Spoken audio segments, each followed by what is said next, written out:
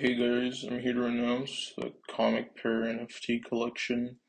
Here we got regular ComicPear, uh, ComicPear with party hat, ComicPear with glasses, uh, ComicPear with red shirt, red sweater, you know. It's not green anymore, it's red. That's cool, right? And then uh, a limited edition Freddy Fazbear ComicPear. Uh, yeah, please buy them this is not a scam, I swear. Buy my NFTs.